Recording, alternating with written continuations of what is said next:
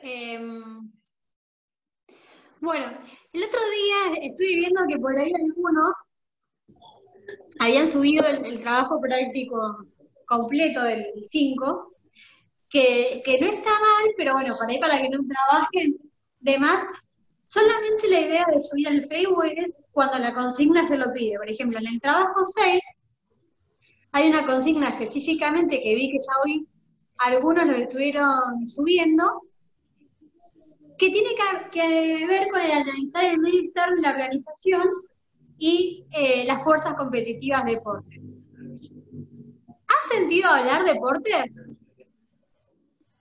Voy a compartir la pantalla.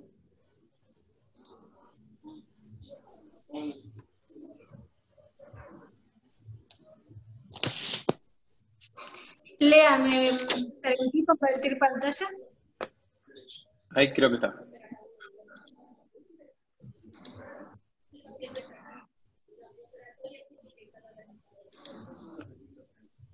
No me deja.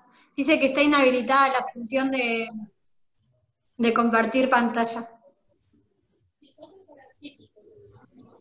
¿Amigo, puedes? Qué raro, sí, yo puedo. ¿Querés que lo proyecte yo? Dale. Lo que necesitaría Emi es el PowerPoint eh, con Porter.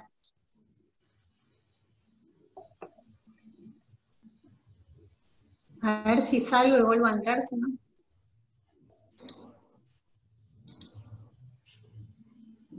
Capaz que si me pones como administradora. Estás como confitriona. Ah, a ver, para que a ver, nuevamente acerco anfitrión. Ok, ahí fue. No, le puse a cualquiera.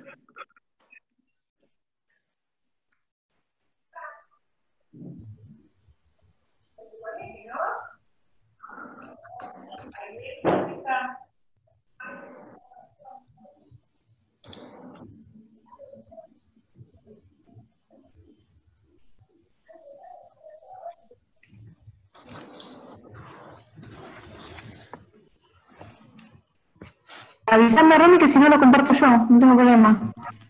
Dale. A ver ahí. Me muero.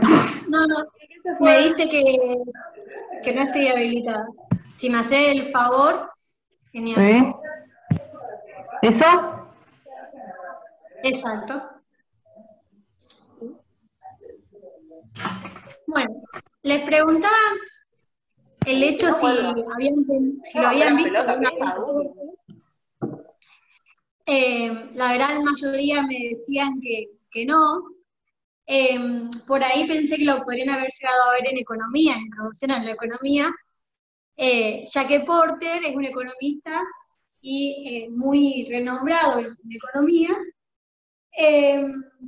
que justamente definió en cierta manera las eh, con esta diseñó un sistema, que son las, fuerzas competitivas, eh, que permite analizar a una empresa en, relación al mercado. Entonces, eh, nos vamos a encontrar con que hay cinco fuerzas competitivas, y acá es importante que cuando ustedes realicen este análisis, realmente no, yo, vi algunos trabajos que recién habían analizado de de La Serenísima, eh, de Netflix.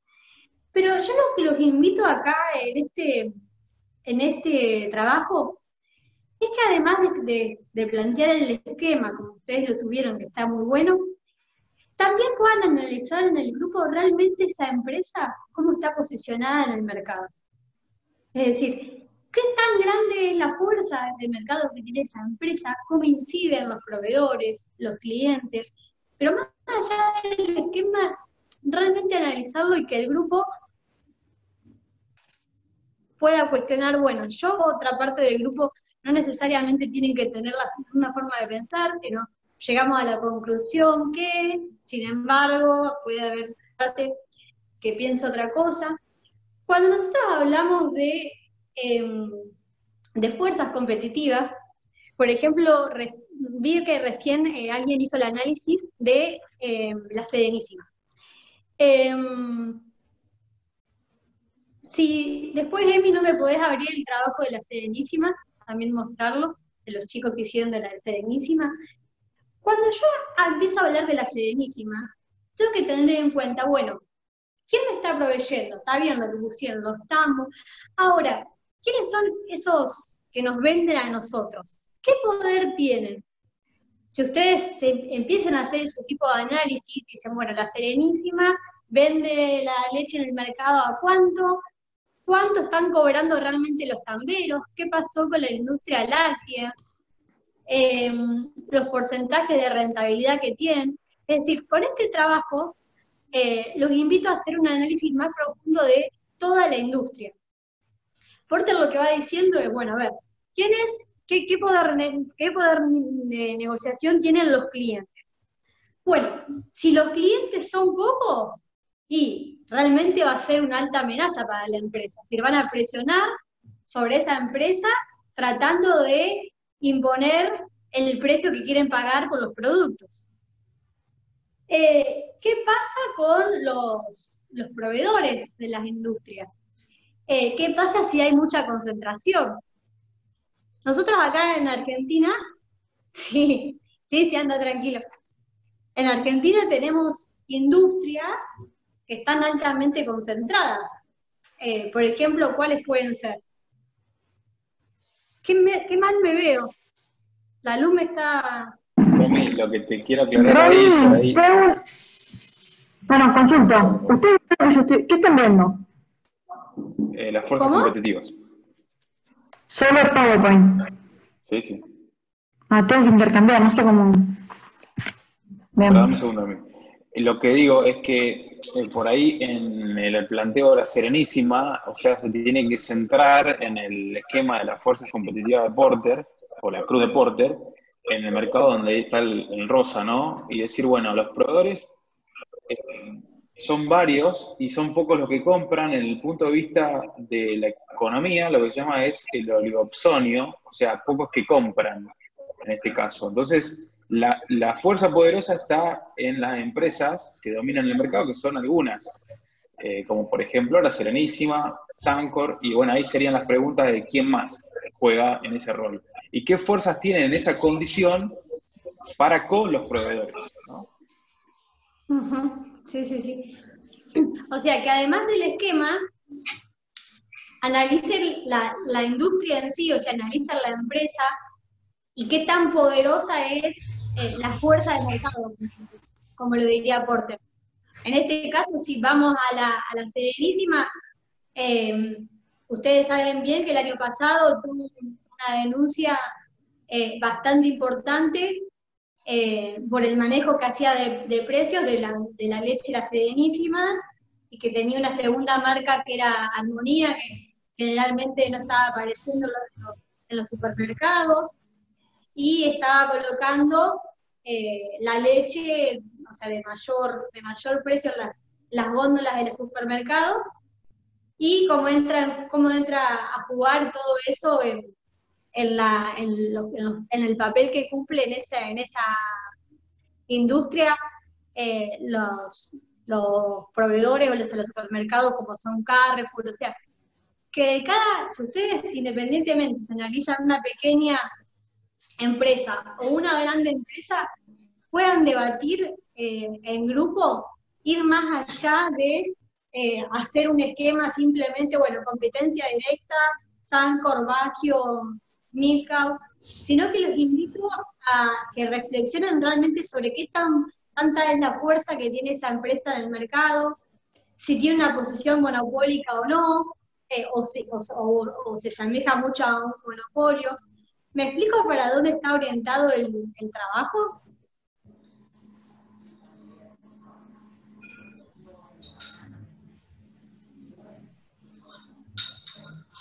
Sí, o sea, las fuerzas,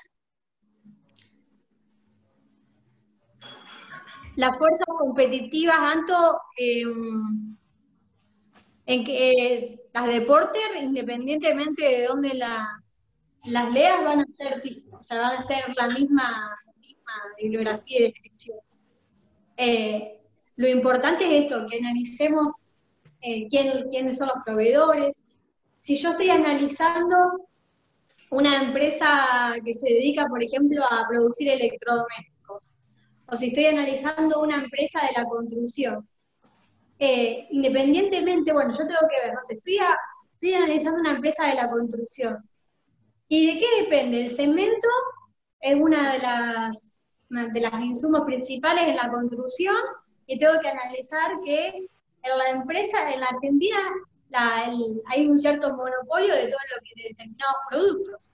En este caso, el, cemento, y que es el 70 o el 80% del mercado, lo tienen empresas muy conocidas como, como Manera y demás. Eh, ¿Me explica dónde se apunta con, con este ejercicio? Eh, si ustedes analizan un pequeño comercio de barrio, lo mismo, es decir, el papel que juegan los grandes competidores, los grandes supermercados, eh, los proveedores, los clientes frente a esta situación, cómo se encuentran, qué, tanto poder tienen para imponer precios, si tienen o no tienen poder. Eh, ustedes piensen hoy en día con el hecho de lo que está pasando con, el alcohol en gel y demás, eh, los productos de limpieza, si, el, si, los, si nosotros como clientes tenemos poder de incidir sobre los precios. Eh, casi, casi que es medio imposible. Eh, por eso es que el Estado está incidiendo sobre, sobre el precio de esos productos. Bien, ¿sí? Bien. Em, ¿Dudas, chicos, con el trabajo que habría que subir?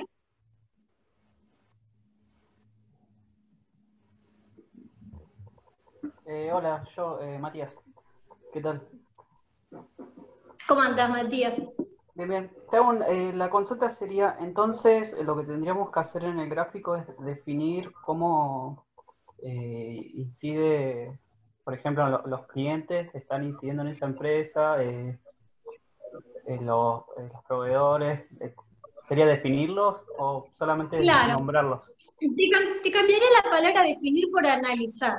Es decir, nosotros siempre en la, universidad pública tenemos que dar lugar al debate y al análisis. Es decir, no nos vale de nada venir a, repetir y decir, bueno, los clientes, el poder, si son pocos, tienen, tienen mucho poder, si son, sino que ustedes puedan pasar por una empresa y realmente, bueno, a ver, además del gráfico que está re lindo, lo, cómo han hecho y cómo han subido algunos de los gráficos que me encantan, eh, el, ejercicio les invita a analizar, es decir, que ustedes puedan ver de esa empresa qué está pasando en el mercado, cómo incide en el mercado, quién influye sobre ella, eh, qué tanto poder tienen los clientes en incidir en los precios o en demandar calidad, porque muchas veces no, no necesariamente tiene que ser eh, precio, sino calidad, pueden demandar.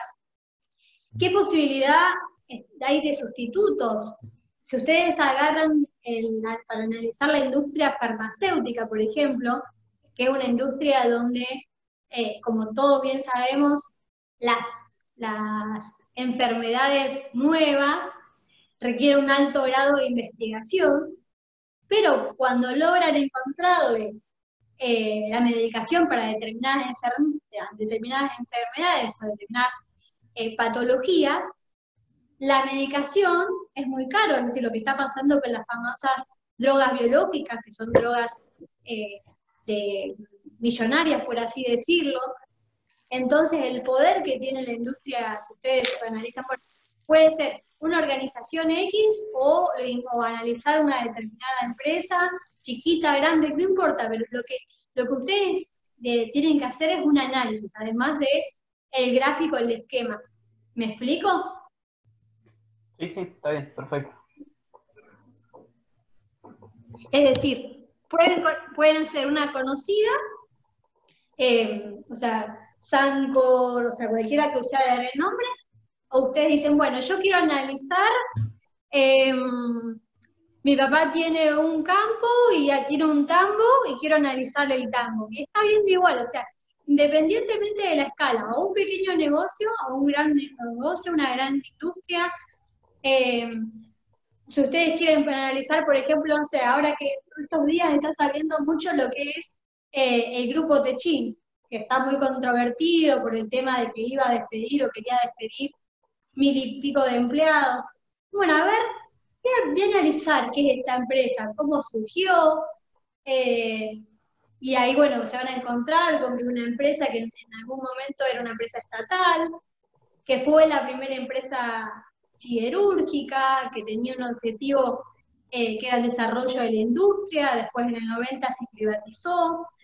Y ahí van viendo, o sea, porque cuando nosotros hablamos de administración, no necesariamente tenemos que dejar afuera todo lo que aprendimos en economía, todo lo que aprendimos en historia es fundamental que cuando ustedes hagan un análisis, eso también lo traigan, porque le brinda herramientas para analizar el día a día de las empresas. Entonces, ahí bueno, eh, y sigan analizando qué, tanto poder tienen de, la, empresa como sí, eh, de imponer precios, a quién le venden los productos, eh, qué sustitutos hay, cómo actúan los clientes. Es decir, cómo analizar en sí el mercado y la industria que eso nos, permite Porter.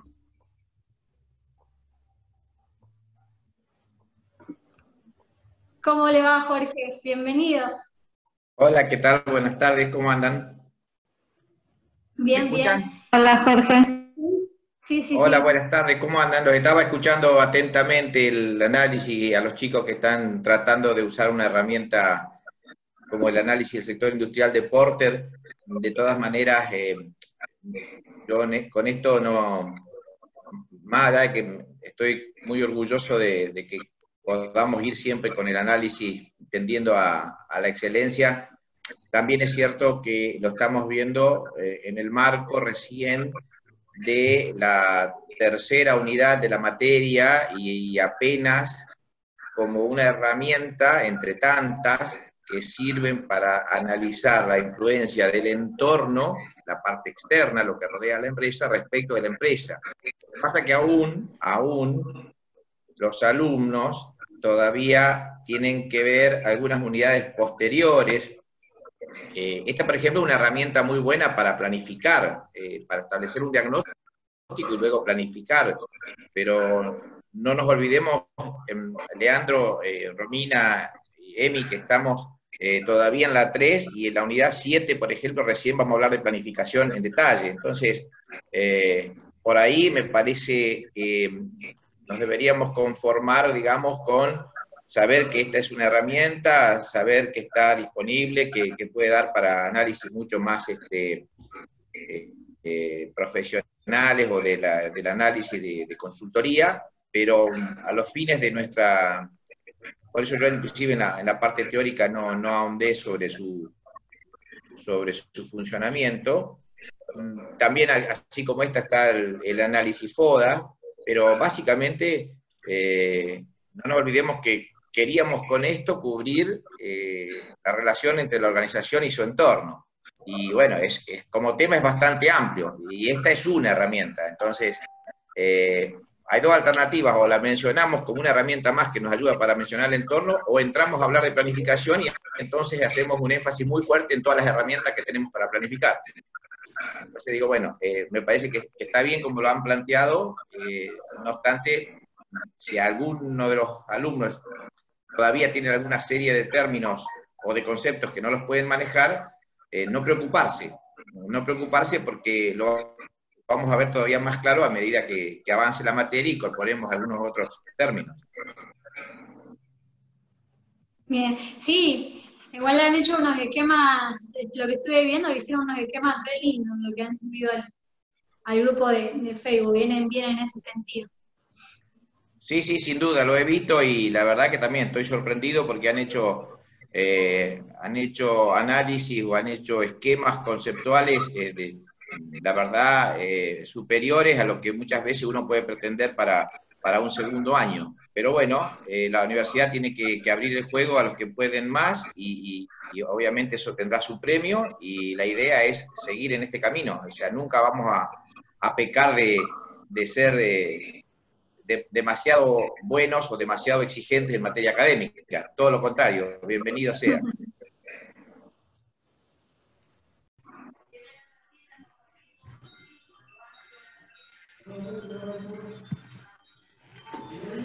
Qué colorido.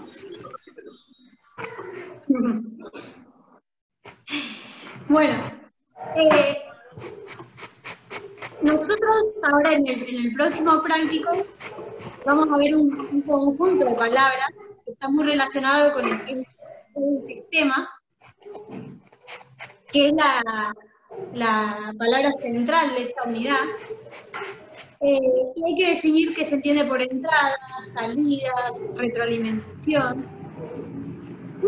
cuando nosotros hablamos de un sistema, nosotros definimos como un conjunto de elementos que están relacionados entre sí y que desarrollan una actividad para alcanzar un determinado objetivo. Pasando a la otra.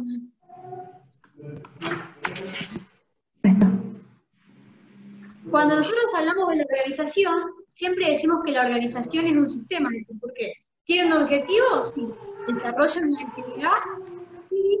Y hay un conjunto de elementos que la componen que están interrelacionados. Los sistemas pueden ser de dos tipos, abiertos y cerrados. Para ustedes, la organización, ¿qué sistema es? ¿Qué entienden cuando nosotros decimos de un sistema abierto o de un sistema cerrado? cerrado o abierto en relación con el entorno, siempre hablando. A ver los chats que se van activando. Abierto, abierto, abierto. ¿Por qué les parece que es un sistema abierto?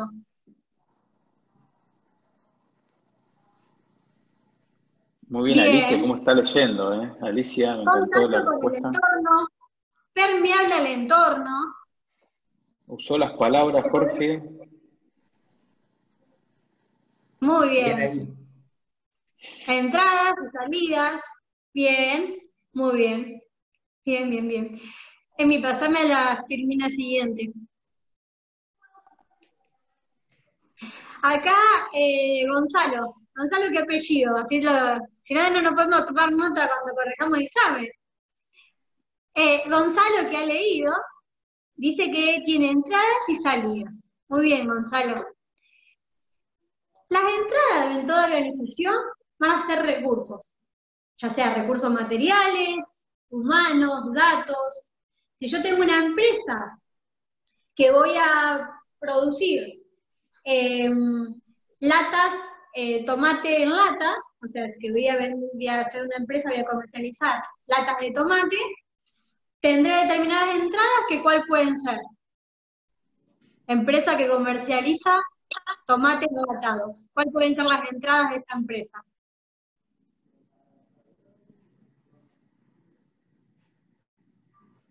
Bien, bien. Tomates, las latas. También los recursos humanos que van a trabajar en ese proceso son parte de la entrada. Todos los datos que yo reciba del exterior el proceso que va a implicar, es decir, siempre se va a transformar algo dentro de la organización. Y por último, da lugar a una salida, ya sea, si soy una empresa de, que me dedico a producir, serán productos, si brindo un servicio, serán servicios, información, es parte de, la, de las salidas también pueden ser. Entrada, proceso y salida, y el proceso así o se retroalimenta. Si yo tengo la información de que eh, el público no está conforme, por ejemplo, con una determinada, con los lotes que se están produciendo de esas latas de tomate, ¿qué puedo llegar a hacer? Bien, en función de los nuevos requerimientos de, de clientes, que puedo tener requerimientos de clientes, me puede dar información para generar una retroalimentación y una mejora en ese, en ese proceso. Lea, ¿vos me hacías señal de algo? ¿Me querías decir algo? No, que no se olviden los recursos financieros, digo. Ah, Bien, bueno, vamos al, al trabajo de hoy. Amy, ¿me podrías poner el, el Word?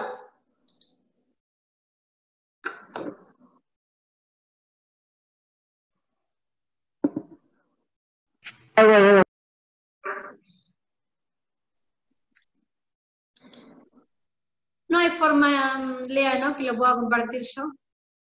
Ahí está eh, activada como anfitrión también, a ver si. El que dice Romina solo. No cuando hablo, sino el otro que está, que no sé, que no me. Ah, perdón, a ver, para que le busco. Por ahí es eso. Romina solo.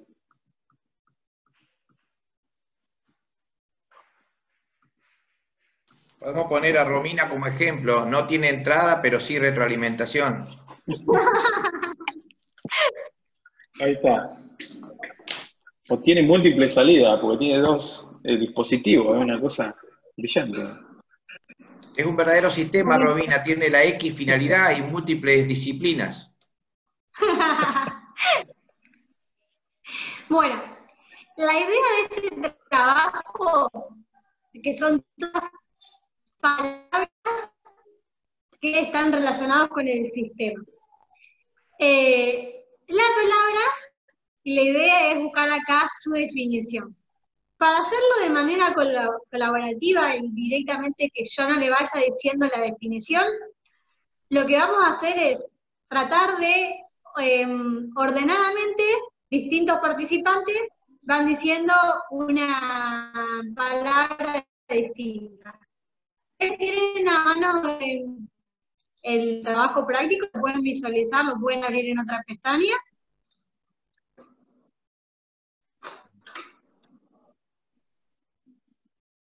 A ver, em, Rodri, ¿te animás a definir, em, a encontrar variables? ¿Cuál sería la definición de variable en este esquema? Anda pensando y vamos a... eso. Subsistema. Chiara, sistema cerrado. Iván, sistema abierto. Jorge, sistema. Enrique, sinergia. Paola, salida. Retroalimentación, Alicia. Relaciones, Ludmila.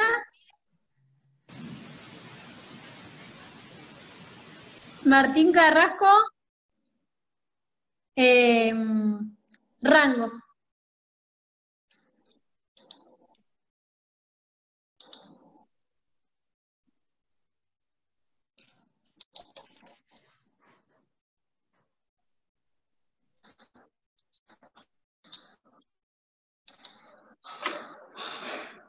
Bueno, a ver, acá vamos.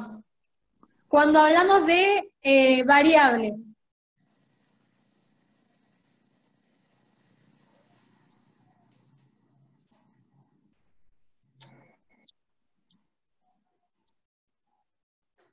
Cuando hablamos de variable, estamos hablando de elementos que cambian su comportamiento en el momento de análisis. Bien.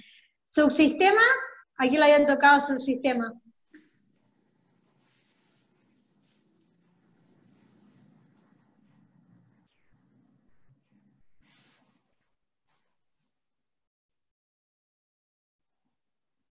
Ahí le respondió.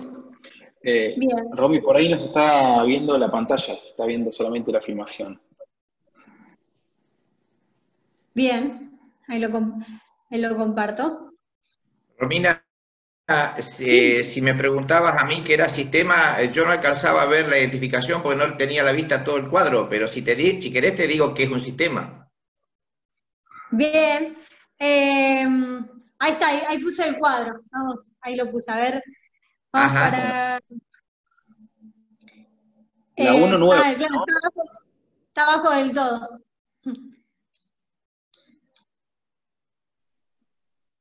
Conjunto de elementos que interactúan entre sí. Ahí está, ese es el 23. Bien. Bueno, la idea es que ustedes puedan ir trabajando con, cada uno de los, de las variables, de, las, de los conceptos, que puedan analizarlos, que lo relacionen con el material que está subido y con los teóricos, y puedan llegar a unir cada concepto con su definición. Vamos a pasar al ejercicio de siguiente. ¿Dudas para este ejercicio, chicos? ¿Se animan a terminarlo? Por lo que veí, ya venían bien con las definiciones. Ahí te dieron respuesta por chat, Romy. ¿Qué? No lo vi. Un tal Jorge Romo dice, sistema es el 23, profesora. bien, bien. bien. Bueno, ahora vamos a analizar un poco el tema de, cómo el, entorno incide en la organización y más que nada hablar del, tan famoso caso coronavirus, cómo esta pandemia está afectando a las empresas, porque no es un, no es un tema aislado, sino que incide en gran manera. Cuando yo me planteo en una empresa, siempre me planteo la empresa no aislada, sino en un entorno. Siempre cuando hablamos de la organización, ya sea, digo, digo empresa, pero también pueden ser organizaciones sin fines de lucro, cuando, me, cuando pienso en una organización, siempre voy a pensar en un macroentorno y en un microentorno. Eh, lo, lo, macro en torno a aquello que afecta en gran medida a la empresa son aquellos factores externos sobre que la empresa no puede incidir. Los factores económicos, eh, la tasa de interés, eh, la inflación que hay en un determinado país, el valor del dólar, los aspectos tecnológicos, los aspectos culturales, sociales, como pueden incidir en una determinada organización. Hoy en día hay una unidad que vemos específicamente toda la cuestión medioambiental, es decir, hoy a las empresas em, se le exige cada vez que sean responsables medioambientalmente, cada vez es más exigido. Antes no era una variable que no era tan tenida en cuenta, hoy en día eh, el hecho, ya, ya analizaremos qué impacto tiene sobre la empresa y qué beneficios que una empresa sea medioambientalmente responsable. Eh, los factores demográficos, eh, los factores políticos, los cambios eh, legales que puede haber en una empresa inciden en gran, medida. piensen ustedes ahora con el cambio de si estaba tan discutido, si se cambiaba o no, el, todo lo que es la ley de las, leyes laborales, que eran leyes que bastante antiguas, cómo incide eso en las empresas, el tema de la indemnización, si se duplican, si no se duplican. Entonces, todos esos aspectos, eh, todos esos factores políticos legales inciden en gran medida en la organización. Eh, y los aspectos que son más cercanos a la organización, o sea, que conforman el microentorno, Acá en el, gráfico ustedes podrán visualizar todo lo que son rositas, por así decirlo, y que están por fuera, forma parte del macroentorno. Y todos los que son, están dentro del círculo, forma parte del microentorno, ya sean proveedores, competidores, mercado, clientes. Eso forma parte del, del microentorno de la organización. Ahí uno de los, de los chicos eh, preguntó recién a ver si lo puedo ver el chat, una pandemia sería un factor macroeconómico. ¿Qué les parece a ustedes? ¿La pandemia qué factor es? ¿O cómo, cómo puede incidir en la organización? ¿Macroeconómico o de un macroentorno? Claro, lo que he querido, eh, si, es un, si es un factor económico, si, si está dentro de, del macroentorno en este... Macroentorno macroentorno. Sí, sí. Medioambiental. ¿Hay alguien que dice medioambiental? ¿En qué sentido? ¿Quieren abrir alguien el micrófono? ¿Se anima?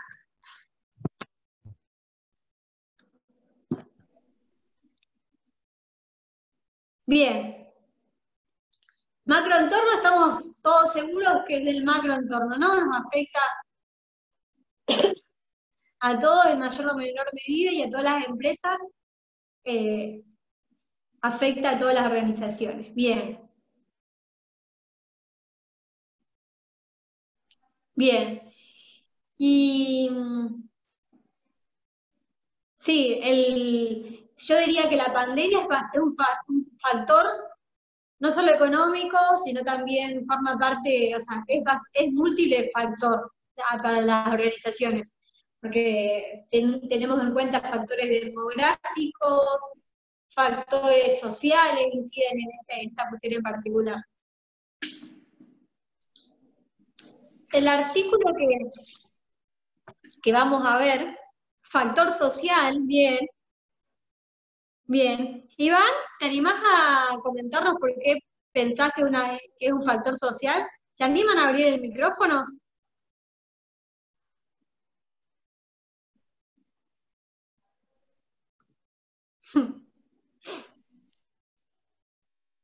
Bien. Factor político también. Bien. ¿Por qué, mm, Santiago? ¿Te animás?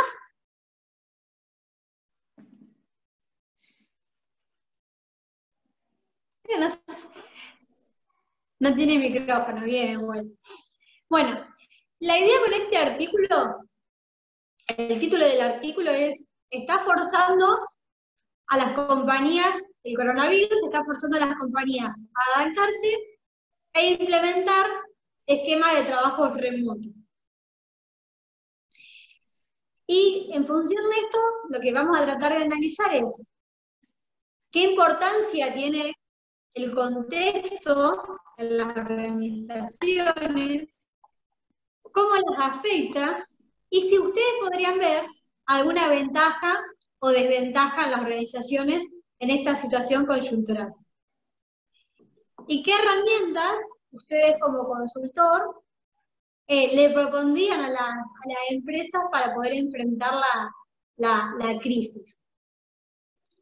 Si bien el artículo está muy bueno, es de una emprendedora que se hubiera estado trabajando en empresa, eh, después los invito a que lo puedan leer, pero sobre todo vamos a resaltar eh, aspectos que toca el artículo.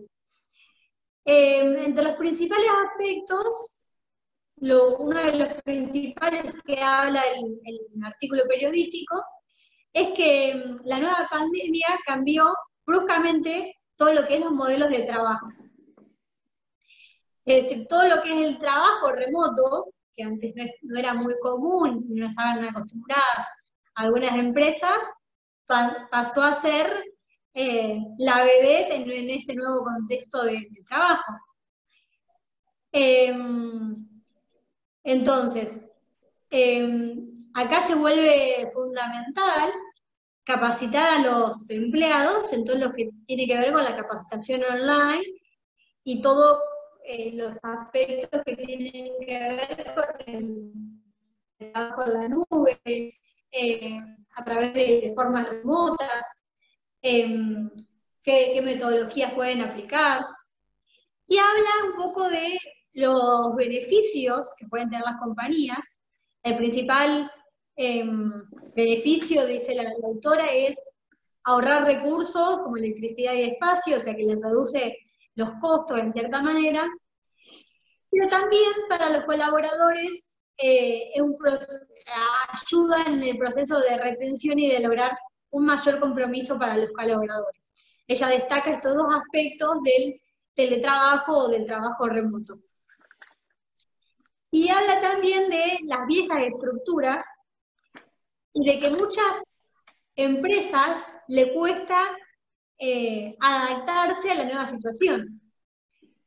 Eh, ¿Qué es lo que pasa? Define que una de las cuestiones principales eh, es que si los empleados trabajan fuera de su casa o lo hacen a través de la oficina, eh, es que no cumplan con las horas asignadas o que no se lleven el trabajo, y que dice que realmente el, verdadero desafío o el, verdadero reto sería romper con esos paradigmas tradicionales y bueno, que, la crisis puede ser una oportunidad para implementar eh, trabajo en remoto en varios lugares de trabajo.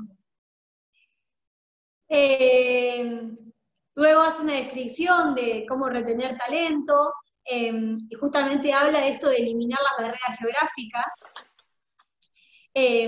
para que no tengan, para que puedan trabajar desde lugares remotos, y dice que es una de las, de las formas de tener el trabajo. también la autora y eh, estudia mucho el tema de la cuestión de, género, o sea, la diferencia que hay entre en los, en los puestos directivos y demás, entre, los, entre el género, y dice que em, incluso ella desarrolló eh, una compañía para que más adelante lo, explica después si lo leen, em, una consultora donde ayuda a disminuir la, a reducir esta brecha de, de género. Eh, y dice, en cierta manera, que la tecnología también ayuda en gran medida a reducir esa brecha de, género.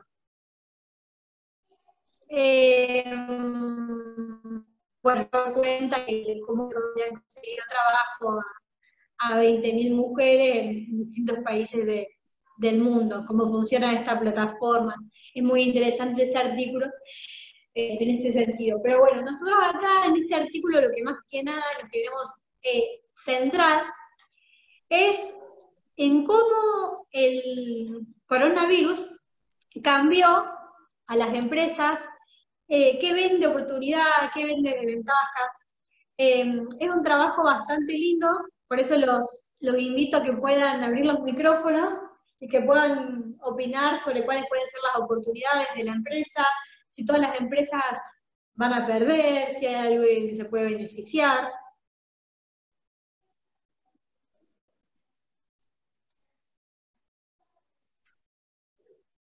Bien. ¿Qué les parece? Las empresas. Acá hay que tener en cuenta que hay determinadas empresas que no van a trabajar con productos de primera necesidad, se van a ver perjudicados. Escucho medio cortado. ¿Alguien más le pasa? ¿Me escuchan bien el resto? Bien. Bien. Escuchar, escuchar me parece que escuchan todos muy bien, Romina. El problema está en la boca, nadie habla. Igual yo tengo, yo tengo una esperanza con Martín, me parece que Martín siempre me da, me da ese Yo en Matías pensaba que Matías iba a romper el silencio. y yo Iván, que siempre hablaba. Mujeres. Chiara siempre está, pero ahora no, se ve que no. Y después, ¿quién más estaba hoy? Mila. Acá dice Martín, Martín Carrasco, dice, depende del tipo de empresa. Las que están excluidas de la, de la cuarentena incluso se ven beneficiadas. Por ejemplo, los supermercados y mayoristas. ¿Por qué decir que se ven beneficiados? Vamos, Martín.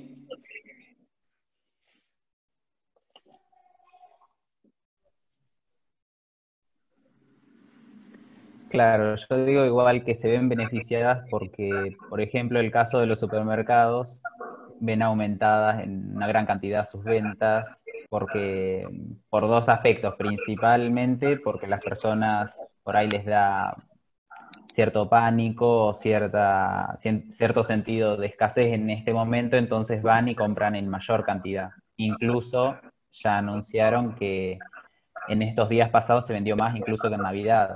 Entonces, para los supermercados son unas muy buenas semanas. Ahora, para otros rubros, por ahí no tanto. Por ejemplo, el turístico o el hotelero, y bueno, es un rubro que no que actualmente se ve perjudicado mucho porque, bueno, no directamente no hay movimiento. Lo mismo que las aerolíneas. Bien. ¿Puedo hacer una pregunta, Romy? Ya que lo tengo Martín. También activar mi micrófono, te estoy mirando, ya me bloqueaste. Está muy bien. Eh, ¿Qué harías vos si tuvieses que conducir una organización que tiene este problema, digamos, que se ve afectado en la actividad, no es una de las esenciales? ¿Qué harías vos? No te escuché bien, que no es de las esenciales.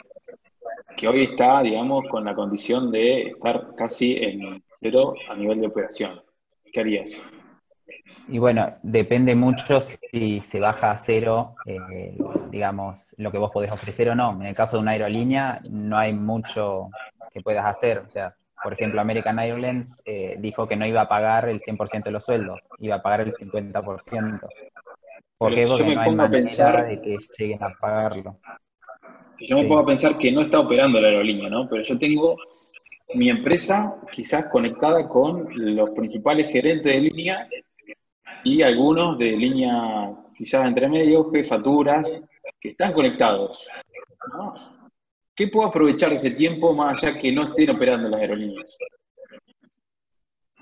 Y podés aprovechar, o sea, todos los recursos que generalmente tenés ocupado en, atender a los clientes y en toda la logística, los podés orientar hacia algún otro tipo de proceso, aprovechando para que no queden ociosos.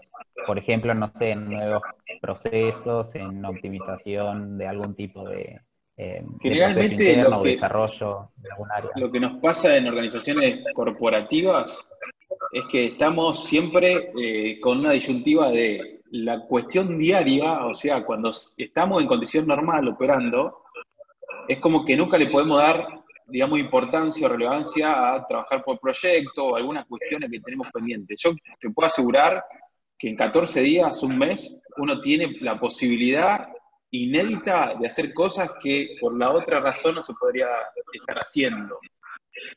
Y no es solamente ver que esté el vuelo eh, activo, ¿sí? O sea, y digo vuelo por el ejemplo, puede ser cualquier compañía. Y hablo al nivel también particular lo que me pasa a mí en la situación de estar aprovechando el tiempo quizás para el proyecto o para reuniones que otro, en otro momento no lo estaríamos haciendo con la visión optimista de que se va a normalizar, ¿no?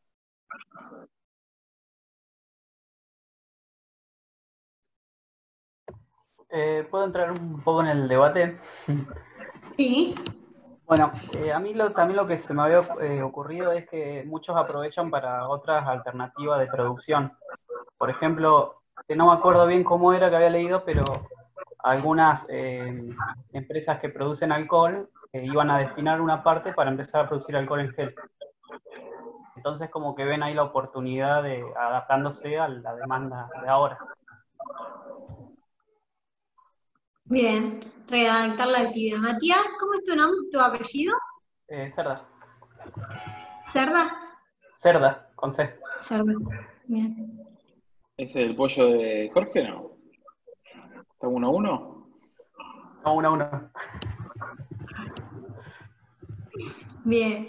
El caso de Tesla también se ve que modificaron su producción a respiradores, por ejemplo. Y que en el caso del ministro de Salta pidió respiradores, pero bueno, digo que orientaron toda su producción hacia respiradores.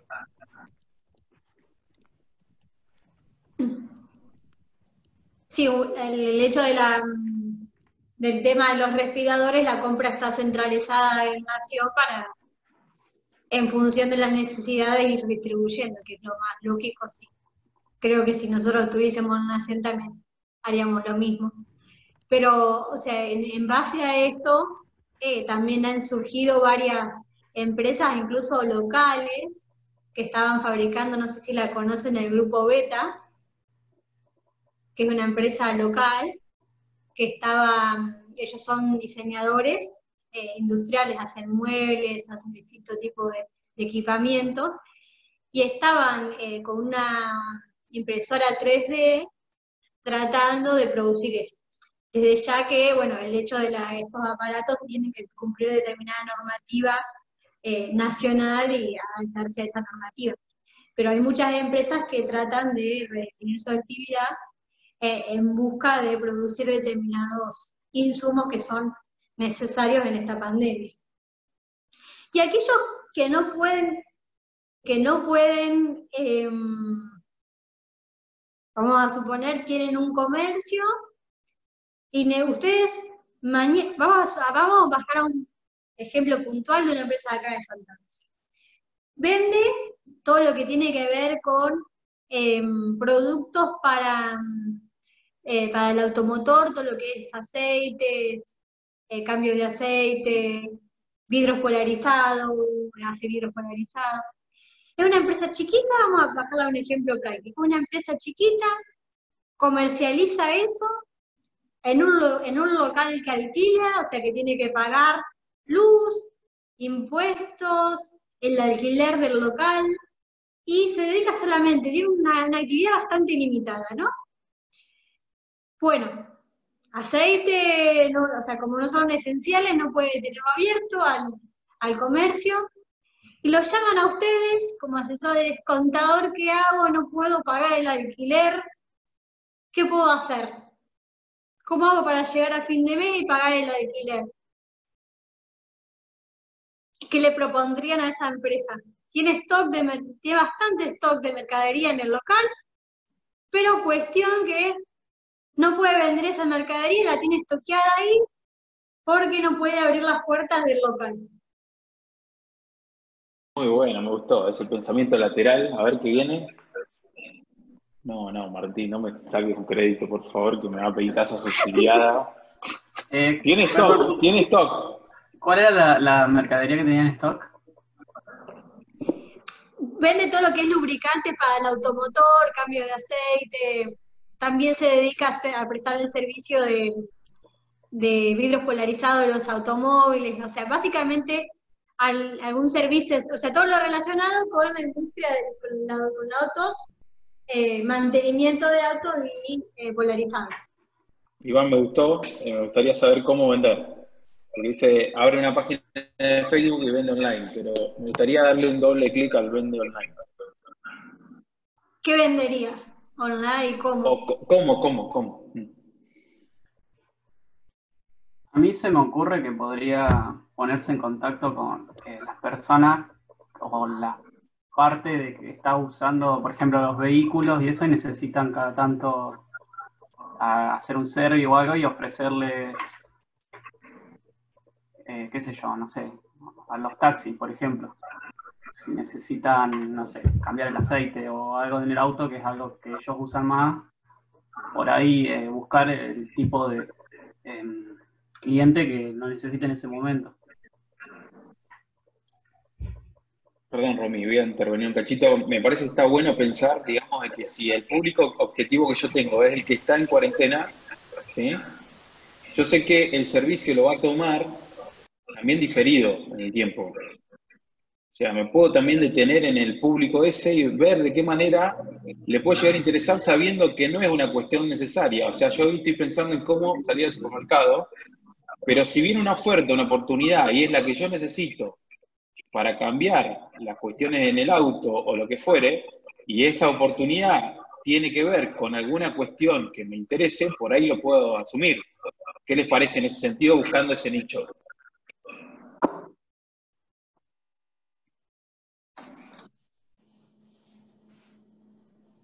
Ahí está, eh, bueno, justo como estaba hablando me parece que ya lo pusieron.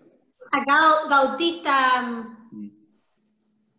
Eh, dice esto de, bueno, cuando termine la cuarentena, ofrecer los productos o los servicios con promociones y descuentos y retirar el producto cuando termine la cuarentena. Vendiendo con entrega de efectiva, dice Yani. Sí, hay una, un compañero me dijo el otro día de que hacían un bar, o sea, un bar de La Plata, estaban vendiendo a futuro, digamos, venta de, eh, consumiciones a futuro. La verdad que me pareció muy interesante. Bien. Sí, yo vi mucho. Prendí el micrófono. Qué bien. Sí. aparece, aparece. Em, ahí está. Eh, yo vi mucho de lo que. Para, primero quiero hacer un comentario que fue el, de. Ay, el de Iván, que dijo vender por Facebook. Creo que la única persona que compraría por Facebook sería Romo. Que sigue ahí. No, Jorge. No sé por qué caí yo. ¿Cómo puede ser? Eh, y después, eh, con, respecto al, tiempo de la cuarentena, me parece eh, más que, bueno, lo que decía Romy, más que ventajas y desventajas, es un muy buen tiempo para hacer un análisis CODA de oportunidades. ¿Cuál es la oportunidad en este tiempo? Y la, la oportunidad de las gift cards de consumición a futuro me parecieron geniales. Eh, porque comprar una gift card, eh, por ejemplo, hoy, lo vi en, muchos proveedores, de, comprar una gift card de 500 pesos que la semana que viene puedo usar por 600.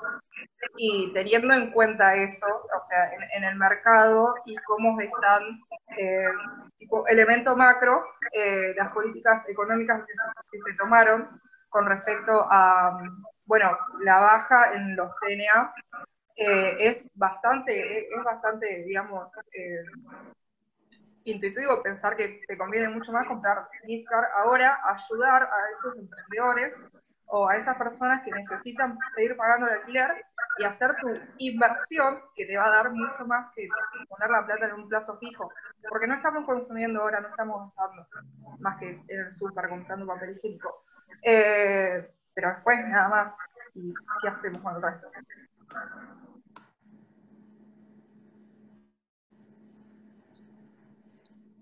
Bien. O sea, es importante este, em, este punto de que resaltó Chiara, de ver las oportunidades, o sea, de buscar oportunidades, a pesar de, de la pandemia, a pesar de la crisis que va a ser general, encontrar oportunidades, encontrar nichos del mercado donde podemos eh, la empresa, a muchas empresas le va, a llegar al hecho de que tengan que redefinir su actividad, cambiar un 100%, pero justamente, como veníamos hablando y muy relacionado con la unidad anterior, toda crisis se convierte en oportunidad. Y hay empresas que van a saber adaptarse a eso y tratar de redefinir su estrategia de negocio y van a salir al menos eh, prósperas o tratando de sobrevivir de esta crisis. Hay otras eh, que si, no, si, si se limitan a su negocio, a ver su negocio y a no salir de ese negocio, les va a costar sobrevivir. Sobre todo las empresas que están muy relacionadas con, por el hecho, ya se está hablando de que los, bares y los bares y los restaurantes, por ejemplo, van a abrir, pero con determinadas limitaciones por bastante tiempo en cuanto a la cantidad de personas, eh, de, comensales que pueda haber adentro. Entonces, esas empresas así van a tener que cambiar de forma importante sus, estrategias, si bien es cierto que va, va a incidir, eh, hoy uno de los chicos decía los factores políticos, así que si se subsidia de determinada manera o si no, si se accede a determinada línea de crédito o no. Pero bueno, más allá de eso, son empresas que sí o sí eh, su negocio se va a ver en gran medida afectado por, esta crisis. Y hay otras que, como decía uno de los chicos, los supermercados no, sabía esto que se estaba, se estaba vendiendo más que, en Navidad y que en las fiestas de fin de año. No, tenía dimensión de, esa, de ese dato. Sí, con respecto a ese dato que decían de, de los supermercados venden por más pánico, en realidad no está siendo así no están vendiendo por pánico, sino que están vendiendo porque eh, toda la gente está en la casa y al estar en la casa consumen más. Eh, hoy en día hasta se evalúan la cantidad de residuos que está la familia y es mucho mayor al que hacen habitualmente justamente por esta cantidad de consumo. Si efectivamente están, están vendiendo más que, habitualmente y más que en la fiesta. Otra cosita que a mí me llamó la atención, no sé si se puede, es a modo de consulta, me llamó la atención con esto que siempre utilizan los eh, negocios acá en el centro, que es de unificarse, por ejemplo, tu calle de compra, eh, este, esta calle, no me sale ahora cuál era, que se unen todos los negocios. Alem. Alem. Después está la San Martín y después está la Gil y la Avellaneda. Em, que con esto de venta online en realidad estamos en casa y estamos necesitando, muchas veces a mí me pasa, mercaderías que no estás, eh, no te dan el medio como para comprarla, pero sí como para entregarla. Los cadetes pueden hacer entrega y es más, ya están haciendo en forma medida. aprovechando esto me llama la atención cómo estos negocios que acá en Santa Rosa tienen contactos unos a otros, unos, perdón, con otros, no se adhieren a esto de hacer eh, por figurarlo, como un mini mercado libre, de ofrecer, como decían estos chicos, por, medio, por medios eh, online o redes, de decir, a ver, las, eh, la zapatería que tiene al lado la tienda de ropa de niños, porque realmente estamos necesitando las familias que entre todos que ofrezcan el comprar en varios negocios cuando juntes una compra que a mí me vendría bárbaro, que la puedan enviar. Que no es lo mismo que hacer una compra, por ejemplo, de un pantalón. Me refiero, por ejemplo, eh, viste que siempre tenés la librería, al lado tenés la, eh, zapatería, la tienda de ropa, otras tiendas con cosas que, funcionan. Generalmente los negocios de acá, muchos, los dueños viven ahí y los empleados pueden hacer el ofrecimiento de los productos de las casas. O sea, hay ciertas cosas que, que se pueden hacer o que yo veo que se pueden hacer, pero no entiendo muy bien porque por ahí no las hacen. Quería preguntar eso, a ver que, cómo me lo pueden ordenar, qué es lo que se puede y qué es lo que no se puede. Yo, yo creo y tengo mi opinión, no, sé vos, eh, eh, por ahí que sos más de la parte tecnológica, que acá lo tecnológico está incidiendo mucho. El hecho de que mm, las empresas de determinados negocios no estaban eh, preparadas para vender en forma remota, eh, muchas de las cuales no contaban con una página web, sino que lo hacían por medios de Instagram y demás. No tenían la habilitada, algunas de estos, de estos comercios no tenían la opción habilitada de hacer pagos a distancia a través de tarjeta de débito y de crédito. O sea, estas cosas creo que, inciden. Y también el hecho de que, eh, ahí, te, ahí concluyo, em, la persona, al, tener limitada la capacidad de trasladarse, si no vive en el negocio, sería ilegal que fuese al negocio para distribuir salvo que ven que, como vos dijiste, tengan el negocio en la, casa en el mismo lugar, pero si no sería ilegal eh, trasladarse al, negocio para vender. Yo lo que voy a tomar es algo que dijo Jorge en, las presentaciones, dice que la organización no puede controlar el medio, es el medio que fija las condiciones, ¿no? Y después voy a atar otra cosa que dijo Pablo Marek, es que cómo está saliendo, digamos, eh, de la situación el mundo empresarial y es a raíz del liderazgo. O sea, es como que, si bien viene una condición impuesta, digamos, del medio, el que me está ordenando o saliendo a jugar eh, en un rol distinto del que yo estaba acostumbrado, después recae en cada uno de las competencias que tenga como líder y como administrador o el gestor del negocio y del cambio, cómo va a hacerlo suceder a ese cambio. Y si, si, puedo reaccionar o no, va a dar también la determinación del liderazgo que voy a tener en el mercado y aprovechar esa oportunidad, porque por ahí la oportunidad está, pero no está para todos, sino para quien la va a buscar. Y en esto quiero darle un punto a Jorge para que él entre con esa parte de la teoría y que nos pueda también dar algún, algún ejemplo. Bueno, Gracias por la participación, Leandro. A las 5.08 hice una, acotación en el chat, planteé un interrogante. Bueno, obviamente nadie la vio, ni los coordinadores, ni nadie, así que la verdad este, no, no voy a participar en las prácticas porque no, mis aportes parece que no son escuchados. Estoy ofendido. no, no importa.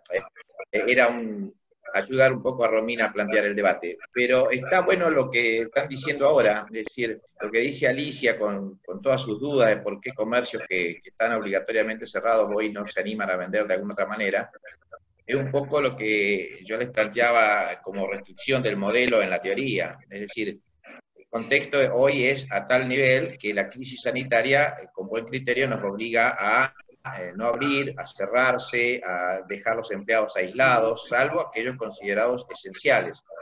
Frente a una imposición así, no, no hay muchas alternativas, es decir, no puedo abrir el depósito directamente, ni siquiera para entregarle una camisa o un pantalón a un eh, cadete que lo lleve al pantalón o al zapato con la moto.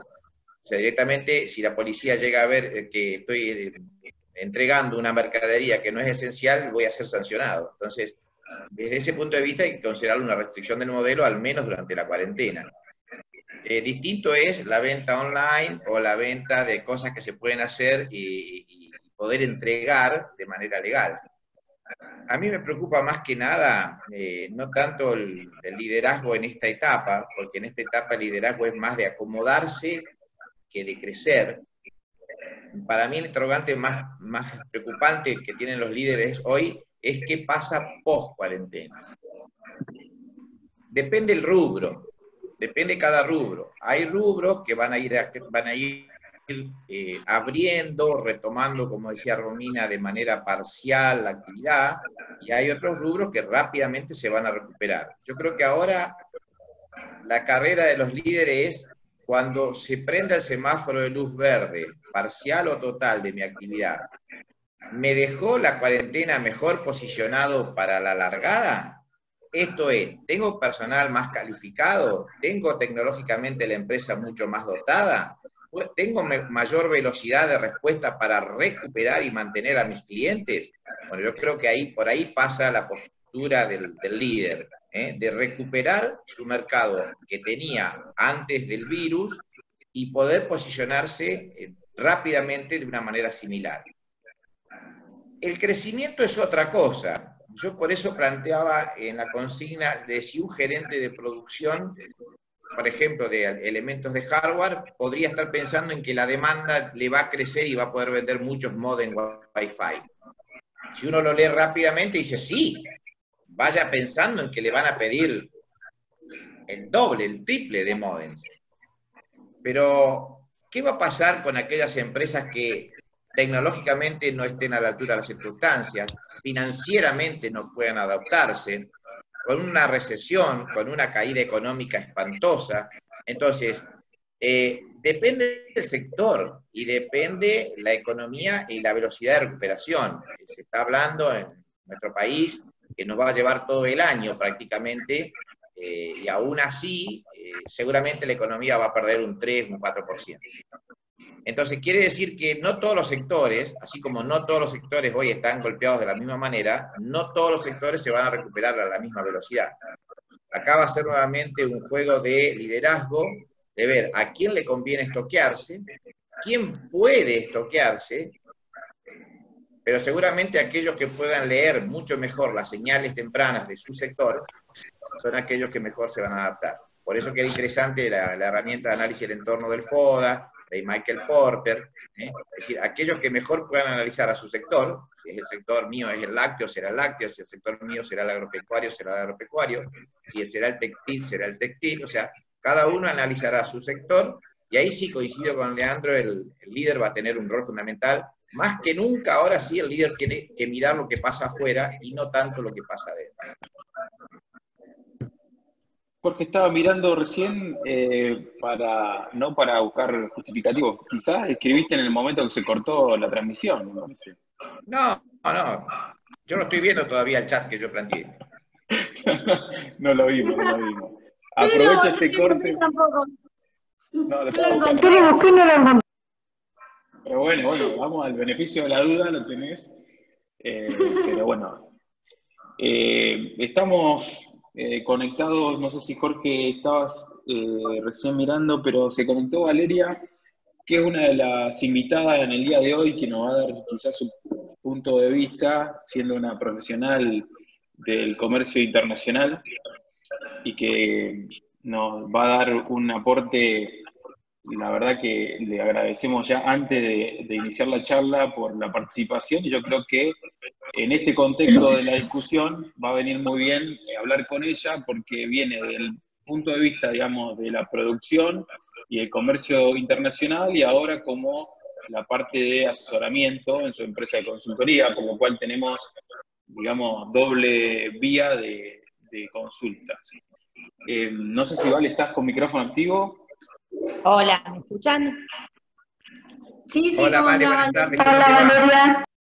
¿Qué tal? ¿Cómo están? Contento de verte. Muchas gracias por, hablar con nosotros, Vale. La verdad que nos viene muy útil eh, la visita, tu opinión, tu contacto, así que desde ya te agradezco muchísimo en nombre de la cátedra. Bueno, más que nada agradecida yo de la invitación y bueno, espero poder aportar eh, algo a la charla. Realmente es un placer poder participar. Un poco, no sé si me quieren hacer alguna consulta particular o contarles un poco cómo está el comercio internacional eh, en todo esto, dice el, antes y el después del, del COVID-19. Tal cual. Vale, yo para darle un marco, quizás estaría bueno que vos te presentes, porque no sé si todos los chicos pudieron investigarte un poquito, porque fue de un día para el otro, que hagas un marco de dónde venís, qué, estudiaste, de dónde viene tu historia, y después, obviamente, contarnos el antes y el después, y el durante, que estamos transitando ahora también, ¿no? Durante eh, bueno, Bueno, primero, eh, ¿me escuchan todos? Creo que hay muchos chicos conectados que están escuchando. Bueno, eh, mi nombre es Valeria Santelia, yo soy licenciada en Comercio Internacional, tengo un diplomado en Ventas y Negociación, soy consultora en comercio exterior y trabajo un poco en el desarrollo de mercado eh, para pymes. Em, creo que algo importante tener en cuenta en el tema del, comercio exterior, que em, esto es creo que casi un cambio de paradigma de todo lo que es la profesión y el desarrollo comercial eh, en el mundo. Creo que va mucho más allá de un intercambio de mercaderías y mm, em, el, comercio internacional tiene etapas y niveles de integración que son un proceso en el cual se han implementado medidas que eh, durante todo el transcurso em, se han intentado eliminar eh, la discriminación entre unidades económicas de diferentes naciones. Por eso, hoy eh, la situación que nos está tocando vivir es como que hace un parate y un cambio de paradigma de cómo se va a empezar a desarrollar eh, a partir de esto eh, el comercio internacional. Eh, yo no sé, bueno, quisiera hacer una introducción de lo que son los niveles de integración. Creo que quizás si algunos saben lo que son los niveles de integración en el comercio internacional, conocen el tema, Vale, eh, para darte un, contexto, estamos viendo recién el entorno de la materia, nosotros estamos en una materia de segundo año, y están viendo cómo influyen, digamos, las variables del entorno y esas que hablamos eh, ayer justamente, de cuáles son las que una empresa, digamos, controla y cuáles, la verdad, que no puede controlar, eh, cómo influye eso en todo el mecanismo empresarial y de las organizaciones, por lo cual estamos en un escenario, imagínate, segundo año, con chicos de promedio 20, eh, recién entrando en el mundo, digamos, de las organizaciones. Por lo cual, ese sería el marco, digamos, de, avance en conocimientos de, las ciencias económicas. Bueno, con respecto al tema de, lo, de las variables eh, controlables e incontrolables, en realidad eh, es bastante específico em, con respecto también, a ver, está a los niveles de integración. ¿Por qué te digo? depende los sectores eh, y depende eh, cada una de las, problemáticas del sector en comercio internacional van a tener eh, distintos, distintas formas de poder comercializar. Hoy en día está absolutamente todo bloqueado, pero tiene que ver, ¿por qué te lo quiero relacionar un poco con los niveles de integración y quiero involucrarlo con el tema de, la producción, ¿sí? Los niveles de integración tienen que ver con todos los rubros de producción, ¿sí? Eh, nosotros dentro de lo que es eh, el comercio internacional, se ha planteado desde hace mucho tiempo y se viene trabajando con todos los organismos internacionales en liberar eh, el comercio para la mayoría de, de, los rubros, ¿sí? Y de, las, de los distintos, de las distintas fábricas, ya sea distintos productos, ya sea comestibles, ya sea productos tecnológicos. Eh, todo esto se ha planteado para poder eh, tener distintas zonas eh, de libre comercio entre distintos bloques económicos. ¿Qué significa esto? Un poco que se han eliminado las barreras comerciales, eh, o sea, están intentando eliminar las barreras comerciales para que eh, todos los procesos productivos puedan realizarse y realizarse intercambios a nivel internacional. Eh, muchas de, de, las fábricas o empresas que hoy confluyen en el mundo tienen muchos productos que son importados y dependemos mucho de, eso. Si realmente se cierra el comercio, eh, es algo que se va a complicar muchísimo. ¿Por qué hablo de los niveles de integración?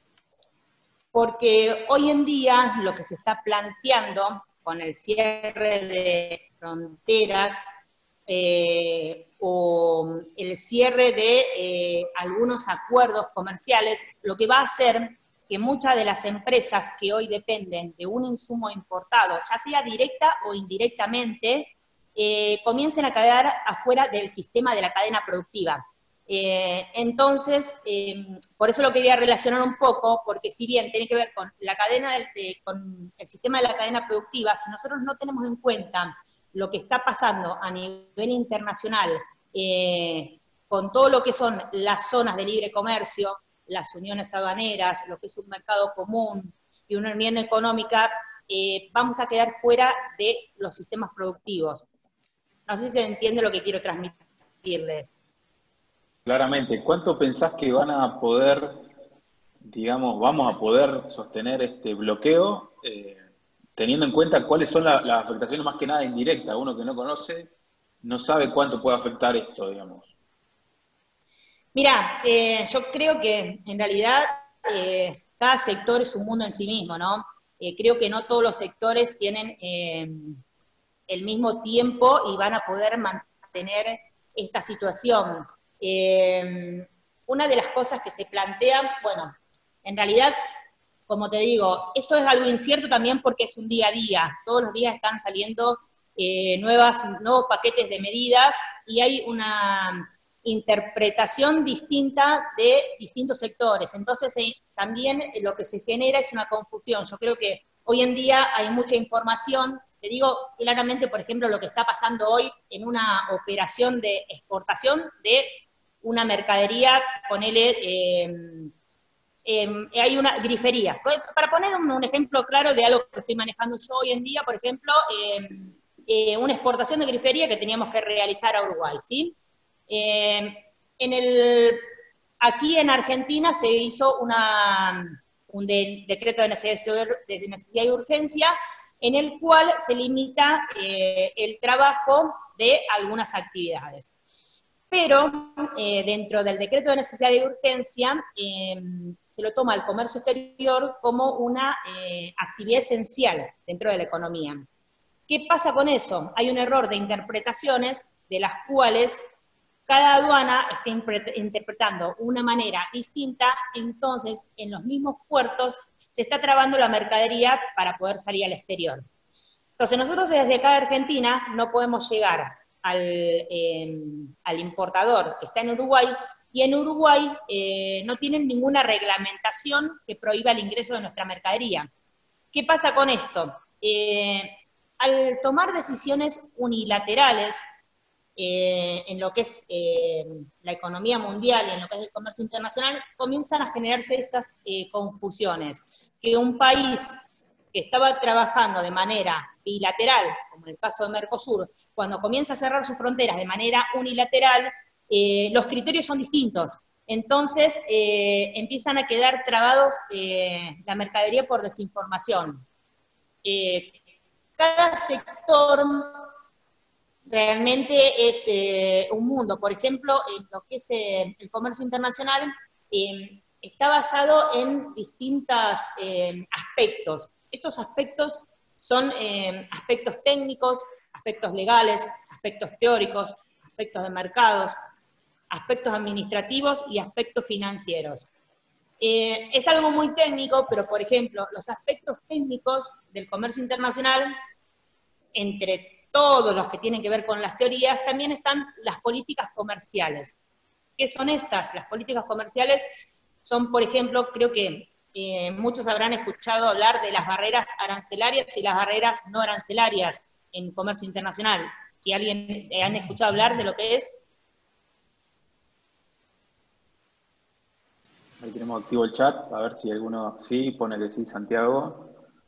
Sí, Juan, Martín también, Gabriel también. Sí, lo, que están respondiendo valen sí. Bueno, un poco eh, con, respecto a esto de las barreras arancelarias y las barreras no arancelarias de los aspectos teóricos, digo, en lo que es eh, el comercio internacional, con, esta situación creo que está en jaque casi todos los aspectos del comercio internacional. Y muchas de las cosas que se plantean eh, es que mucho del trabajo que se ha venido haciendo con distintos organismos internacionales, como la Organización Mundial de Comercio, para liberar la economía, eh, esto está haciendo que peligre todo. Por ejemplo, las barreras arancelarias y las barreras pararancelarias. Las barreras arancelarias son aquellas que eh, ponen un tributo, ya sea la importación o la exportación. Si nosotros queremos importar un bien, dicen tenés que pagar un X por ciento, que es el derecho de importación. Y si nosotros queremos exportar un bien al exterior, cuando ingresa al país, si no hay un, eh, convenio o un acuerdo comercial, eh, ese país tiene que pagar un derecho de importación. El tema acá, lo que está en juego, es que eh, se pueden llegar a poner más estrictas las barreras no arancelarias. ¿Cuáles son estas? Las barreras no arancelarias son exactamente esas que no tienen que ver con un arancel específico, sino con trabas y certificaciones.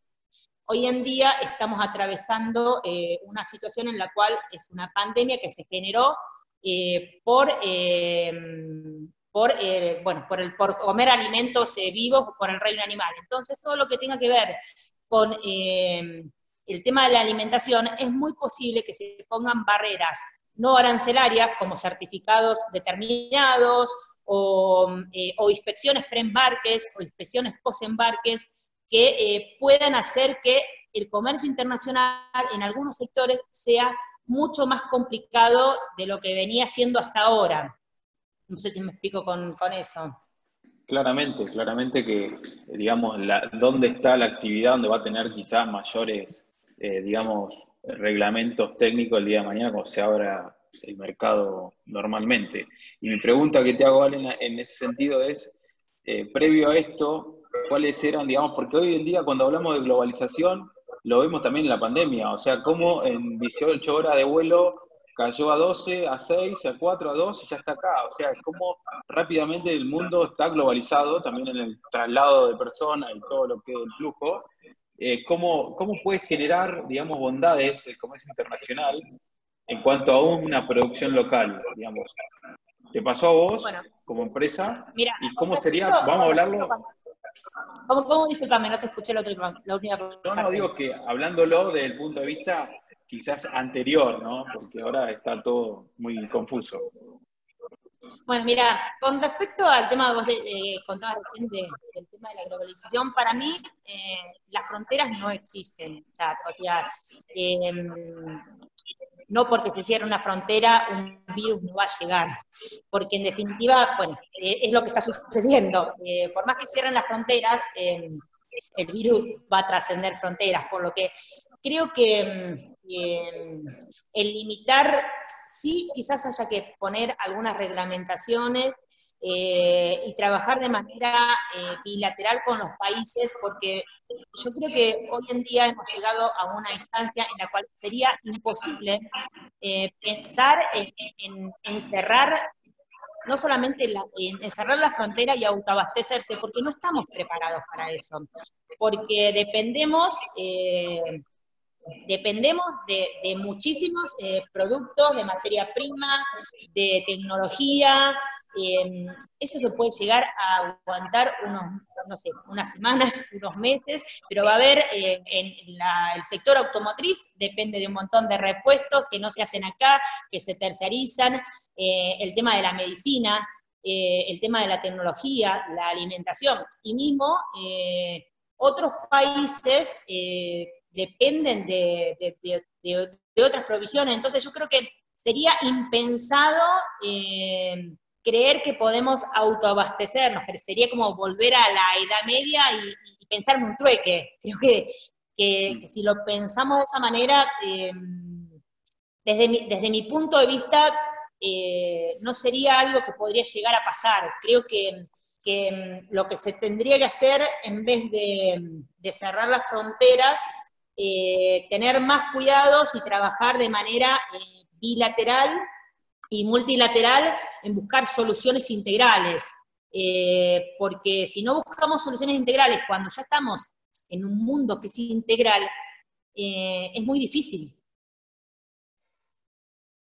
Te hago una consulta con respecto a tu experiencia de, de ser parte, digamos, del intercambio de bienes cómo esa velocidad también genera que vos, digamos, estés en el mundo con un producto y qué son las cuestiones que uno internamente, o que a, vos, digamos, en la organización te refrescó para decir, no estaba preparado, eh, a nivel de organización no estaba preparada, en competencias, en determinadas cosas del contexto para estar en el mundo. O sea, ¿qué tenés que tener en cuenta para ser una empresa mundial?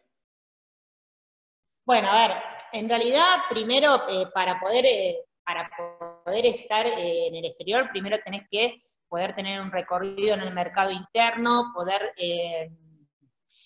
tener un volumen y una capacidad de producción que vos cuando salís al exterior no, no, no, tenés, no es lo mismo proveer en el mercado interno que salir a, fabricar en el exterior. tenés que tener una consistencia en el mercado interno que te va a, motorizar eh, y te va a dar la espalda financiera también, porque vos tenés que tener en cuenta, por ejemplo, las operaciones de comercio exterior eh, tienen otros plazos. Generalmente, eh, como son volúmenes más grandes, vos no vas a exportar, depende también, depende también qué tipo de producto, ¿no? Hay productos que tienen eh, un, volumen y un tiempo y otros productos que, que, son, bueno, si son productos perecederos, si no son productos perecederos. Por ejemplo, una operación de comercio exterior generalmente eh, te hacen un pedido cada dos o tres meses y vos tenés que tener un volumen que cumpla ese pedido. Eh, para poder hacer un pedido cada dos o tres meses y poder hacer ese volumen, vos tenés que tener una espalda financiera para poder soportar esa producción, ¿no? y después, una vez que vos envíes la mercadería, suponete, al exterior y depende hacia el país donde la mandas, eh, también tenés otros tiempos. No es lo mismo mandar la mercadería a un mercado como Uruguay, que llegó, depende si es terrestre, vas, eh, llegó en tres días, hizo aduana, en una semana lo sacaste, que si tenés que hacer un embarque, eh, no sé, a Europa, que te tardó 45 días de buque, y depende de lo que vos arreglaste con el importador de allá, capaz que tenés eh, otros 60 días de pago diferido. Entonces digo que tenés que tener un respaldo financiero eh, importante para poder salir al exterior. Un factor me decís que es un poco, digamos, la, cuestión financiera y a nivel, digamos, de las competencias de, de un administrador, para llamarlo de alguna manera. ¿Cuáles tiene que tener para realmente poder consolidarse en ese mercado? Bueno, primero que tiene que estar eh, una empresa eh, ordenada, ¿no? Eh, más que nada tiene que ver un poco con eso, tiene que ser una organización que esté ordenada y que esté preparada, porque intervienen un sinnúmero de actores y yo siempre digo que el comercio internacional es una articulación de actores. Bueno, antes de, esta situación era bastante más fácil porque se podía articular a todos los actores que, intervienen muchos, eh, ya sea desde la y intervienen muchas organizaciones, ya sean eh, entidades públicas y entidades privadas, desde lo que es la empresa, desde lo que son eh, despachantes de aduana, desde lo que son asesores, desde lo que son forwarders, forwarders, desde lo que son compañías marítimas, desde lo que son los transportes, de lo que es la logística internacional. Eh, tanto de un país como del otro, o sea que tiene que haber eh, un orden y una precisión eh, desde la empresa misma y con todas las aristas que esto conllevan. vos, Valen, tuviste intervención con qué mercado internacional dentro de Rocío Miel? Mirá, más que nada con Rocío Miel, en realidad hemos hecho algunas operaciones con con Colombia, pero no tanto con Rocío Miel, sino con otras empresas, te puedo contar, eh, independientemente de lo de Rocío Miel, asesorando a otras empresas, por ejemplo, creo que Eh, bueno, no sé si muchos de los chicos que están acá, calculo que quizás por el producto conocen a la empresa Nuevo Origen. Creo que encontraste el nicho para que empiecen a hablar. Bueno. Santiago siempre me dice que, sí, a ver. Hay, unos cuantos que conocen Nuevo Origen. Bueno. Unánime. Unánime, unánime. Era, era el nicho, era el nicho. Bueno, en realidad, eh, contarles, por ejemplo, con eh, Nuevo Origen eh, hemos realizado la, el año pasado la primera exportación, luego de, hacer un desarrollo de mercado, una investigación, buscar el cliente en el exterior, hemos desarrollado la primera exportación a Dinamarca. Llegamos al mercado de Dinamarca con las primeras 2.000 unidades de cerveza. Y el, digamos que después, bueno, después de todo esto que aconteció hoy, en realidad eh, el mercado se cerró y también ha pasado un montón de cuestiones eh, a nivel de costos que, han hecho que, se vaya, que, se vaya, que salga un poco del mercado de, en Europa, que ya no, no se puede ser tan competitivo como fue en su momento, pero digamos que con la empresa Nuevo Origen hemos llegado al mercado de Dinamarca y eh, con todos los controles y la estabilidad que implica llegar a un mercado europeo.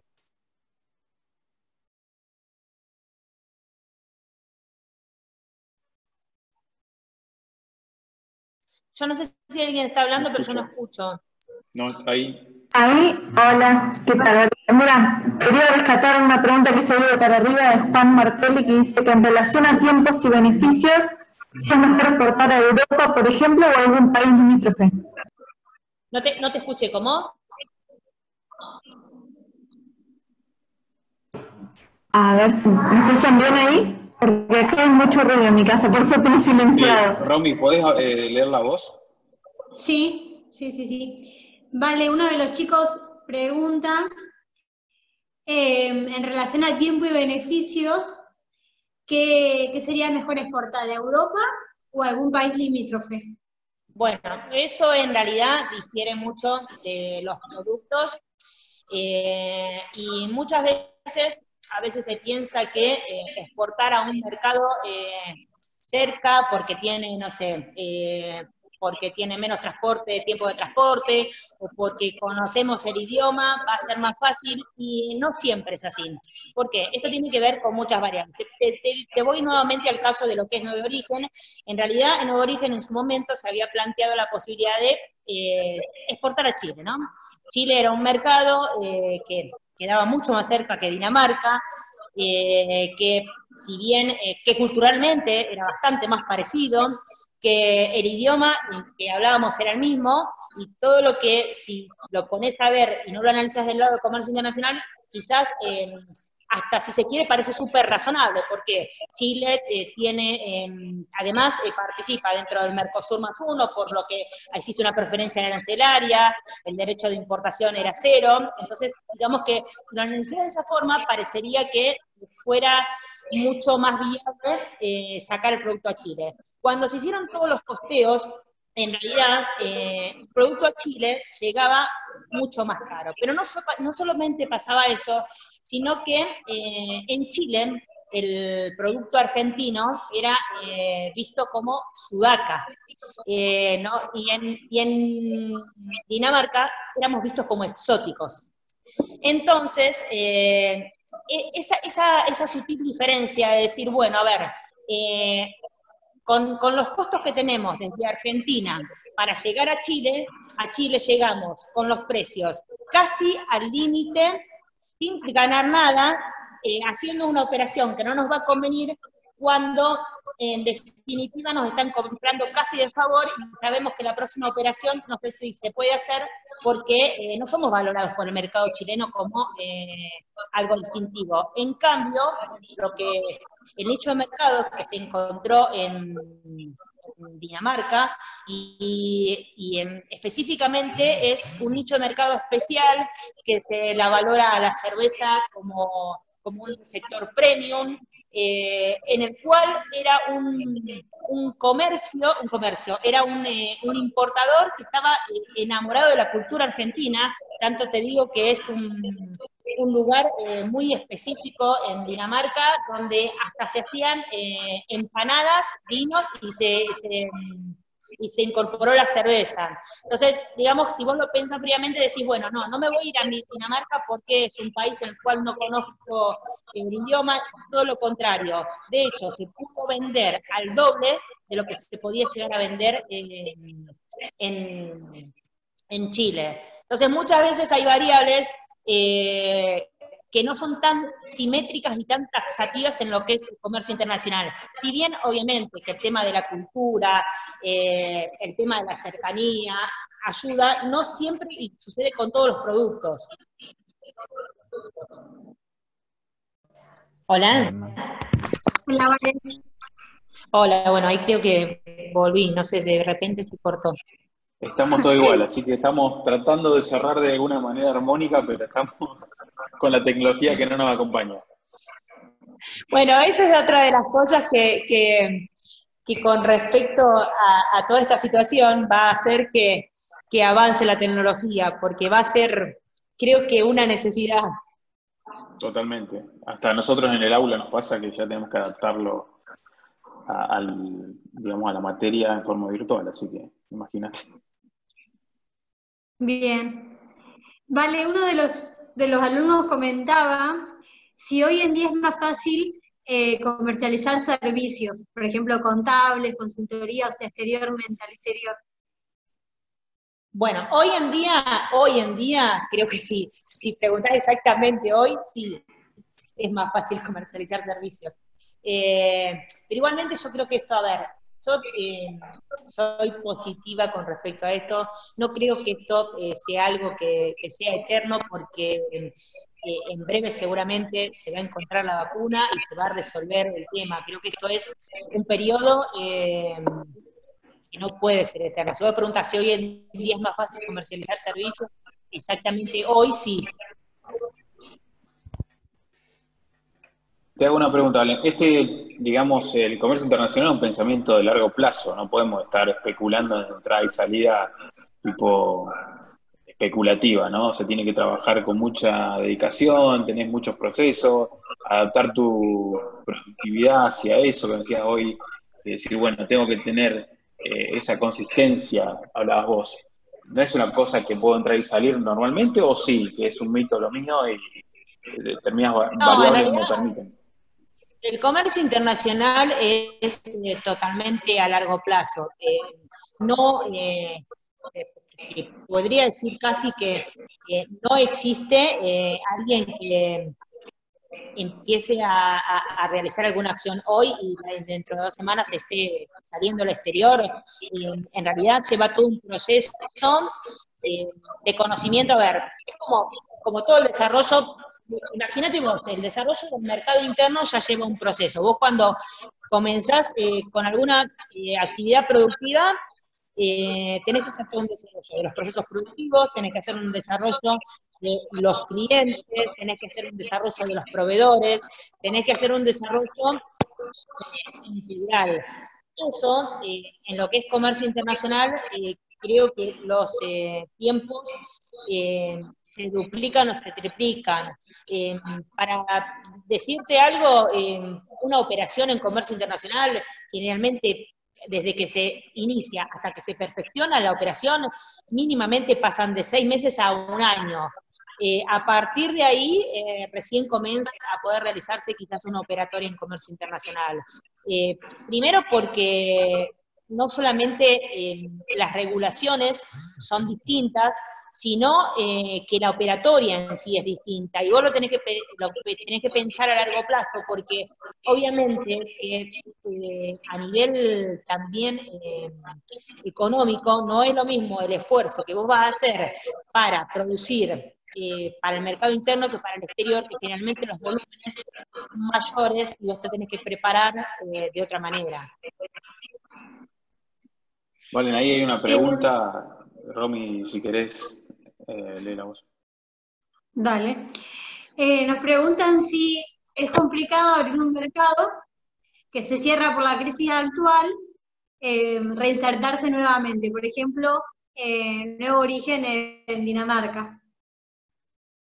Bueno, con respecto al tema de nuevo origen en Dinamarca, no, no, no, sé, si se cierra por la crisis actual. Eh, en realidad, ahí lo que, lo que pasó, y no, no quiere decir que se haya cerrado, sino que eh, los precios se hemos dejado de ser un poco competitivos con los precios, pero por un tema eh, mismo de la Argentina. Eh, las empresas, bueno, lo que es el sector cervecero, de repente empezó a estallar todo el mundo haciendo cervezas y lo que, y lo que costaba, eh, digamos, y, comenzaron a complicar al sector en sí, porque vos en un lugar donde tenés eh, una producción determinada, pones 20 empresas que hagan lo mismo, realmente comenzás a competir de una manera eh, que no podés, eh, que no podés ser competitivo con los precios. entonces, creo que tiene que ver un poco más que nada no con la, con la, con este, esta problemática actual, sino con una parte del sector de la Argentina, eh, estamos dejando de ser competitivos. Em, con respecto a lo, puntual, si se puede, si es difícil volver a reinsertarse en los mercados eh, después de, una crisis así, yo creo que es eh, difícil, pero mm, esto tiene que ver más allá eh, de, lo, de, lo, que es el producto en sí, sino eh, de todo lo que se va a generar eh, a nivel mundial e internacional con esto, porque como te digo, se van a intensificar un montón de normativas que hoy se estaban tratando de, regular o de extrabar, o la idea es que haya menos discriminación para poder evitar contaminación. Entonces, creo que no tiene que ver con, creo que va más allá del producto en sí, creo que, es un orden internacional más. Vale, yo te hago una consulta con respecto a em, el mercado internacional y pensarlo desde el punto de vista eh, de, orientarlo o no la empresa, porque los chicos estábamos en un contexto de entendimiento de la situación micro, ¿no? Eh, la situación micro, decir cómo miro adentro de las empresas, todas las variables que me llevarían a pensar afuera, ¿sí? En ese sentido, es como me tengo que ir preparando para, para el, el mercado internacional. Pero mi pregunta puntualmente es, ¿cómo ves vos cómo está desarrollado el comercio internacional en la Argentina? ¿Qué, males tenemos, digamos, particulares para...? Yo creo que, honestamente, mi visión es que deberíamos ser más exportadores, en todo sentido. Tener ese chip ya de, la universidad, de estar pensando en cómo vender afuera.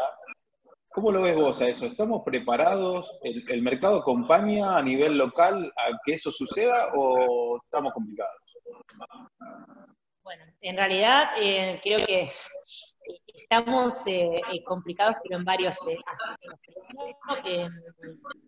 porque las reglamentaciones muchas veces no son claras y, muchas veces, lamentablemente, lo que sucede en, la Argentina es que se traba más de lo que, de lo que realmente debería trabarse. lamentablemente hubo mucha, mucha época de corrupción y sigue habiendo época de corrupción en los trámites, en, la, en, la, parte aduanera. Entonces, eh, para poder realizar una operatoria, creo que el comercio internacional, eh, en lo que es Argentina está visto como eh, un, un, plato volador, más en lo que es también la provincia de La Pampa. Vos hablas de comercio internacional y es algo que no está desarrollado eh, y no se conoce exactamente. Creo que no específicamente en, el, en, la, situación puntual que estamos viviendo hoy, que es muy particular, pero creo que con un poco de organización y, em, concatenando eh, los distintos actores de manera adecuada, teniendo la documentación como corresponde y haciendo las cosas bien, el comercio internacional es algo simple y fácil. Creo que mm, eh, tiene que ver con un mal de, los argentinos mismos también, eh, de la manera de hacer las cosas mal. Em, por ejemplo, eh, yo siempre escucho decir, no, bueno, y vuelvo a repetir, saliendo un poco del contexto en el que estamos hoy, que es una situación totalmente específica.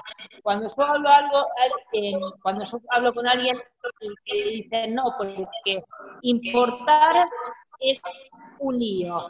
Eh, no sé, porque yo tengo un conocido que importó y le quedó la mercadería retenida en aduana y no la pudo sacar y le pidieron esto, le pidieron otro. Yo creo que eh, importar un bien determinado para, para una, o una materia prima para poder hacer un proceso productivo y exportar ese producto con un valor agregado eh, no tiene que ver con, con, eso que, se comenta mucho, sino que las cosas se hacen mal. En vez de hacer los documentos como corresponden, hacen los documentos a medias, entonces la mercadería queda trabada, no se busca a los a los profesionales adecuados, entonces cada uno toca un poco de oído, y, entonces eso es lo que genera un poco de desconfianza. Yo conozco a alguien que le quedó la mercadería trabada en aduana y además de todo tuvo que pagar el depósito fiscal porque no lo podía sacar. Y además de todo, entonces creo que tiene que ver un poco con el desconocimiento. Eh, en sí de, todo lo que es la operatoria del comercio internacional, pero la operatoria del comercio internacional, como cualquier otra operatoria de cualquier otra actividad, eh, haciendo los pasos que corresponden, se hacen. Buenísimo, porque primero que tenemos un riesgo asociado, el riesgo empresarial, ¿no? Es decir, bueno, si yo dependo de un insumo importado, yo estoy, digamos, tratando de trabajar con flujo para lo cual voy a tener una inversión muy grande, por lo cual, si ese es mi activo, digamos, estratégico, no voy a estar a la deriva de, depender si sale o no sale de un contenedor o de donde venga. Y qué bueno que sea, digamos, eh, que si pasa por procesos profesionales tenga la seguridad o la, un poquito más de certeza en que todo el ciclo funcione. Sí, yo igual también lo que creo es que, eh, como digo, es mucho eh, un monstruo que se crea por el desconocimiento. Mira, yo te digo, eh, hay muchos, mucha maquinaria que se utiliza para los procesos productivos que tienen se pueden importar de una manera súper simple, súper simple. A ver, haciendo toda la documentación que corresponda, ¿no? Pero trayéndola como bienes de capital, están exentos de un montón de gravámenes eh, y todo eso se desconoce. Mira, tengo el caso de, una empresa de acá de Castex, eh, que trajo un banco de prueba. En ese momento eh, había dos, eh, dos, empresas que iban a traer un producto similar, ¿sí? Una de, no voy a dar nombres, pero una de Santa Rosa y una de, de Las dos iban a traer eh, algo parecido a un banco de prueba y se iban a traer como bienes de un, bien de capital, ¿sí? Para un proceso productivo. uno de los, de los posibles importadores, en realidad, no se animó, especuló, tenía miedo, escuchó a los comentarios que le iba a quedar trabado. Otro de los importadores sacó un crédito, ni bien sacó el crédito, compró los dólares, ni bien compró los dólares, hicimos la transferencia al exterior, a los pocos meses, porque acá en Argentina también nos pasa esas cosas, que de repente se fue el dólar, creo que era de 16, pasó a 40, eh, una cosa así. uno de los, eh, de los importadores, el que no se decidió, eh, no pudo tener, obviamente, la máquina. El otro exportador que tomó la decisión rápida, hizo las cosas eh, como corresponde, hicimos los documentos, eh, no tributó porque se pasó por la extensión, hoy tiene eh, el banco de prueba en Eduardo Castex. Entonces, también tiene que ver un poco con eso, con con tomar las decisiones adecuadas eh, y, presentar los documentos y, hacer toda la articulación que corresponda eh, y muchas veces, bueno, tener eh, el análisis adecuado de los tiempos, porque muchas veces acá en Argentina tenemos esto que, no podemos prever, no podemos prever a veces ni, al año, es realmente complicado. Entonces, bueno, es, una, articulación de variables muy difíciles que, uno tiene que analizar. Vale, y mm, esta articulación, o sea, ustedes eh, estabas comentando, bueno, ya sea con tu, con tu empresa de productos o con las cervezas, em, que se han logrado, o sea, pequeños negocios que se han logrado vender internacionalmente o llegar por lo menos a negociar internacionalmente. Esos contactos internacionales, ¿Cómo lo logran esas pequeñas empresas? Bueno, en realidad eh, todo eso es, eh, una, lo que se llama un desarrollo comercial, que es un perfil de mercado. Se hace una investigación a nivel eh, posición arancelaria y se trabaja, ahora les cuento un poco lo que son las posiciones arancelarias, y se trabaja con estadísticas em, eh, y em, con Cancillería, con consulados, con información que viene recabada desde las distintas aduanas desde el exterior. Cada producto, lo que es comercio internacional, eh, se le pone un código, que, es, que se llama eh, la nomenclatura, nomenclatura común, eh, que es un código. Entonces, cada producto está nominado. Ese código, que tiene dígitos y dígitos verificador, dice, por ejemplo, qué tipo de producto es. y tiene determinadas características de un número. Eso se busca en las estadísticas y se hace una investigación de cuáles son los principales países importadores eh, de ese producto. Ese producto se transforma en un número. Los principales países importadores de ese producto, eh, de qué países compra eh, ese producto, quiénes son, cuáles son los precios, cuáles son los requisitos que tiene para el ingreso. Entonces, en base a toda esa articulación de variables, es que se elige el potencial mercado al cual yo podría llegar a exportar hablando de una exportación, ¿no? Eh, al cual yo podría llegar a exportar mi producto. Entonces yo sé, por ejemplo, que, para poner un caso cualquiera, hebillas, eh, el principal país importador de hebillas, según las estadísticas, por el número de la nomenclatura, es por decir, vamos a poner un ejemplo, que es yo, Colombia. Bueno, Colombia, ¿a quiénes le compra? Le compra a tal país, a tal país, a tal país. ¿Cuáles son los precios? Y toda esa investigación me da los nombres de los posibles importadores. Esto no es tan fácil y tan taxativo, sino que es una investigación que quizás lleva, eh, no sé, un año y medio de investigación hasta llegar a esos datos. Eh, una vez que se llegan a esos datos y a los posibles importadores, comienza algo parecido o similar a eh, una negociación o em, lo que se hace con el mercado interno, y comenzás en contacto con el posible comprador, se hacen reuniones, se hacen eh, misiones inversas, se hacen eh, ferias, se hacen exposiciones, eh, y empieza el, digamos, el, contacto directo. Puede ser que, como en el mercado interno, llegues a consolidar la operación o no, pero tiene que ver con un estudio mucho más profundo, que empieza desde una posición arancelaria. Bien, bien, bien, sí, súper clara la, la explicación, vale. Bueno, no sé si quedan preguntas, compañeros de la cátedra, em, pero si no te agradecemos, muchas gracias por, la verdad que es muy valiosa eh, bajar a la realidad, que nos puedas contar tu experiencia, nos sirve mucho para, para los alumnos y para nosotros también. Bueno, les agradezco la invitación y bueno, espero no haberlos mareados. Eh, no sé si tienen alguna pregunta más. ¿O quieren.? Eh, lo, que, digo, Vale, si queda alguna, obviamente que si nos permitís, como lo hemos hecho, eh, le dejamos el contacto por si tienen alguna inquietud o nos pasan nosotros y nosotros seremos el canal para consultártelo.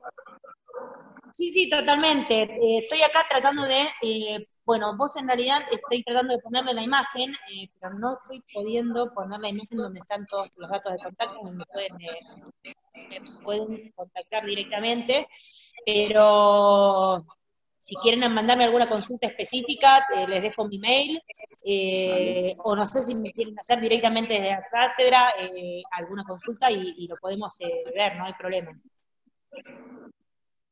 Bárbaro, yo igual te, te mando, porque se tuvo que retirar Jorge, me dijo que te agradezca nuevamente, por lo cual también transmito el agradecimiento de él, porque esto nos permite estar un poquito más cerca invitarte también es parte de reunir a los alumnos que están en una situación como nosotros muy incierta, que estamos en una situación de aislamiento, obviamente, de responsabilidad, porque Rami está también con el tema, eh, es directora, directora en salud y bueno, también está con las recomendaciones oficiales, que nos, un poco nos, nos ilustra de, del qué hacer en el día a día. Pero esto también nos permite a nosotros estar un poquito más cerca de los alumnos, esta herramienta invitar, tener la posibilidad de, estar con referentes, nos pasó con Pablo, con Ali, con vos, y la verdad, bueno, eh, agradecidos, y tenemos ahí en contacto por cualquier inquietud o los chicos si nos quieren preguntar a nosotros por esta vía va a llegar, si no vamos a pasarle tu correo electrónico. Dale, dale, perfecto, perfecto. Eh, bueno, y a disposición para lo que precisen. Les agradezco. Muchas gracias. No, por favor. Chao. Bueno, chicos, con esto cortamos. Cortamos y vamos a dejar grabado, como siempre, eh, la clase. Vamos a publicarla, así que quedarán pendientes también para lo que es eh, Moodle. una cuestión, no sé si Romy querés mencionar, pero vamos a estar habilitando el práctico que viene ya para el cierre de unidad 3, sería. Sí, sí, sí, sí, sí. Bien, se, lo vamos a estar subiendo al chico. Cualquier cosa seguimos por la vía, como mencionó Romy. Muchas gracias a todos y queda grabada, chicos. Hasta luego. Gracias.